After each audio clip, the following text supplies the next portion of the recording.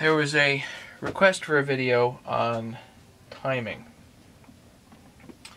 And so I wanted to use this chassis as I put it together to demonstrate what timing is all about. So, uh, since I am not an expert on timing, uh, if you have or anybody has anything to add to this, please contact me. I would appreciate it. Um,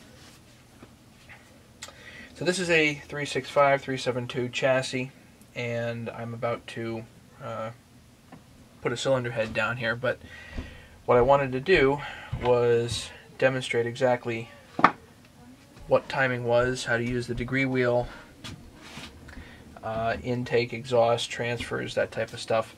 And I'll see if I can do it in pretty good detail here.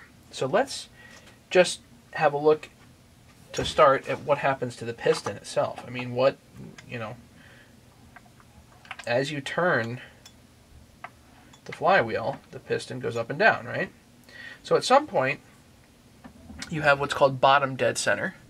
And if you rotate this 180 degrees, you have top dead center.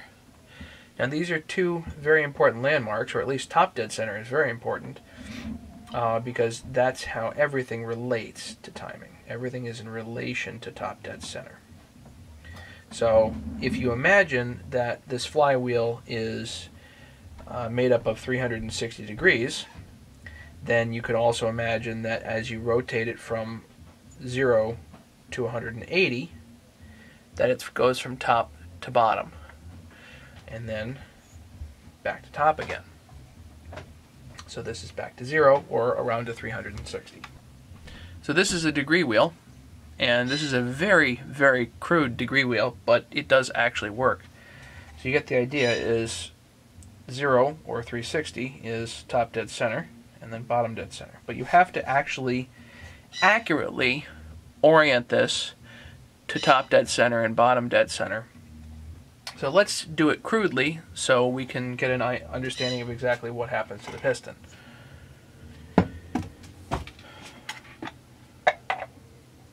And just so everybody knows, these are just air fittings with a quarter inch piece of um, brown board. I don't know what that is. And then this is just simply printed out and glued onto the degree wheel. So yeah, these are just air fittings that I happen to tap for um, the actual size to the flywheel. And believe it or not, the, the flywheel nuts for both the Husqvarnas and the Stihls do actually match up, at least so far. Uh, un unless you get into the really big ones, uh, the 395 and 394s have different ones, but that, uh, for the most part, we're not worried about that. Okay, so here's the degree wheel. So if I just simply screw this down and I tighten it, so now it's tightened down, but I've got this such that the piston's more or less at top dead center, and this is not even close. So I need some way to actually orient this. So I've got this set up so that I can simply rotate the wheel and then tighten this down wherever I need it. So we're about 90 degrees off, so I'm going to spin this about 90. And now we're a full 180 degrees off.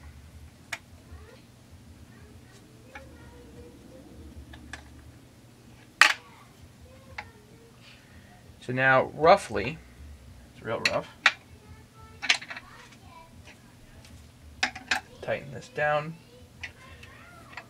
Roughly, top dead center, TDC, is where the piston's up at the top, and then as it goes down, you can see bottom dead center, then top dead center, and then bottom dead center as we go. Okay, so let me work on putting the cylinder on. And when the cylinder's on, it'll be uh, easier to, to see the relationship between the exhaust timing, the intake timing, and the transfer ports, and what all that means. So the first thing to do here is to get top dead center. Now, this is kind of close, in fact, it looks really close. But what we want to do is we want to make sure that this is balanced. So, what I mean by that is uh, you need a piston stop. Now, you can use one of the commercial ones or you can use something simple like a piece of aluminum. In this case, this is just a piece of aluminum. And it's in at an arbitrary point. As long as it's the same left to right, as long as it doesn't move, it'll be the same left to right. And then what you need is a point of reference here. Now, uh, what some guys do is they have a piece of wire that comes over, um, baling wire whatever, uh, anything you have that's cheap, is fine. Uh, what I usually do is make a couple of marks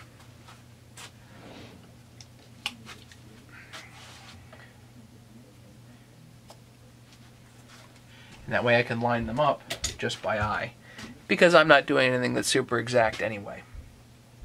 Okay, so if I bring the wheel around at this point and I line up my marks, where am I at? 20, about 25 degrees there. So now what you do is you go around in the rotation. And that is 52. So we loosen this. And again, if you have a, a better sorted wheel, um, then your setup will be better. So you move this. Let's go to like 35. So move that to about 35 or so. Let's go back around the other side. Again, the piston stop is in there and it stops at about 40 and then again back around 35 36 ish alright so I have to take and move this back the other direction. Let's go to about 38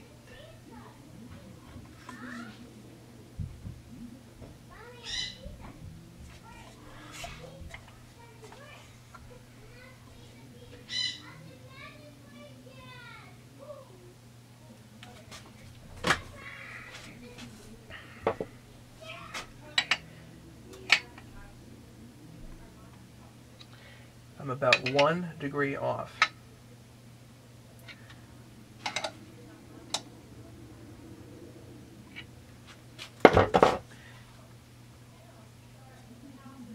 Right now we have 37 there. Go to the other side. And we have 38-ish. So we're now half a degree off. Plus or minus half a degree. For what we're doing, that's going to be close enough. So we have it balanced one side to another. Now if you look, you can see that as you bring this up to top dead center, as you move it plus or minus 5 degrees, the, the piston's not going to move that much. So generally we got it pretty close. Okay, so now the piston's at top dead center. A lot of guys do this different. Um, I'm going to get the exhaust timing. So what I'm going to do is I'm going to shine a light in here and I'm going to look and see when I see light. So if you look in the exhaust right now, you can't see any light. As you move the wheel around, there'll be a point at which it opens and you see light. You can see light in there. No light. Light. Okay, so just as it cracks open and you see light, that's the technically the exhaust timing. So I'm going to have a hard time capturing that on film, but what I'm going to do is just simply look myself to see if I can come up with a number. You take the wheel, you go from top dead center to 90, 95, 100. This is about 102.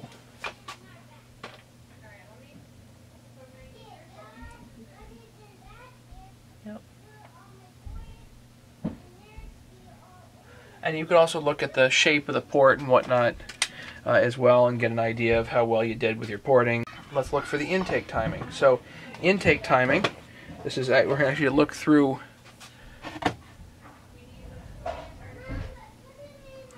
there and you're going to roll it around. The intake timing is somewhere between 80 and 90 degrees. So you can just bring this back there somewhere. Now, can you see that that cracked open a little bit?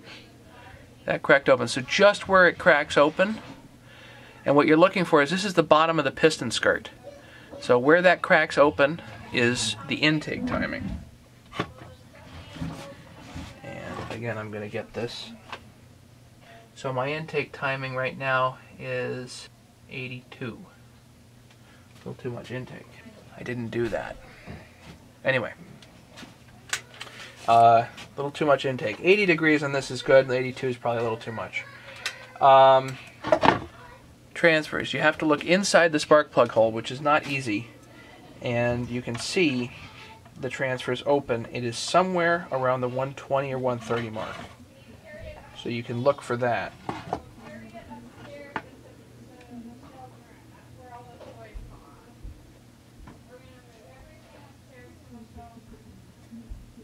There. So you count to 90. So you count 90, 100 from top to the center, 90 degrees, 100, 110, 120. So this is 122. So you write the numbers down, especially if it's on a cylinder. So this is 122, 102, and 82. Not too bad of numbers. They should do fine. So what does all that mean? What, what do all these numbers mean? So I'm not 100% up on two cycle theory, so you're going to have to forgive me on that. But what this all means is pretty simple. This engine is a valve. Um, the valve opens and closes at certain times. When you have combustion happen, when the piston is a particular at a particular spot, so many degrees before or after top dead center, combustion happens, it forces the piston down. And as the, the piston is coming down, it's grabbing the air and fuel mixture from the intake and it's forcing the air and fuel mixture that it's grabbing down into actually what is technically the primary combustion chamber. The primary combustion chamber is actually below the piston. So, uh, by, down by the bearings. That's technically the primary combustion chamber. So, as it's grabbing the fuel and air, it's, it goes down, compresses the fuel and air, and squishes them into these transfer ports, which then transfers that air and fuel to a spot that becomes above the piston. The piston goes back up and compresses it, and it goes bang again. And then as the piston is coming down, the exhaust gases come out again at a certain time. So, very simple. It's a valve that opens and closes, obviously very quickly. And the more even all of it is, the more optimal the timing is of all those openings is, the more torque and the more power you're going to produce. So, with regard to exhaust timing, general rule, as I've gathered it, is the higher the exhaust, so say an exhaust uh, an opening of 95 or so, um, the less torque, but possibly higher RPM. If you have a lot of compression up there, then you don't necessarily need to worry about that, but general rule somewhere between 100 and 105 is more optimal for exhaust timings. Uh, for transfers, 122 is, is this saw. Between 122 to 102 is what's called blowdown. So that's the time between where the exhaust opens and where the transfer ports open. Again, a shorter blowdown, I think, increases the RPM. If you have a longer blowdown, then it'll give more time to actually build up the pressure in that primary combustion chamber. Again, if anybody's got better information than me, please, uh, I'd love to hear it. The, uh, with regard to the intake, the intake can only grab so much air and fuel based on the size of the primary combustion chamber. Uh, and the more intake you give it, the less pressure is going to be developed, but the more air and fuel you might grab. So it's all a fine balance. Um, generally, numbers that are close, I've seen work just fine. In fact, I've seen some really screwy numbers that seem to saws seem to run just fine. If anybody is looking to learn more about timing, uh, I would simply suggest that it's an experience thing and do a lot of reading um, on the forums and hopefully you can come to even better conclusions than I do. So I hope that explains timing enough for people that want to understand it. If you have any other questions, uh, let me know. And please post in the comments section and uh, don't forget to subscribe. Thanks so much.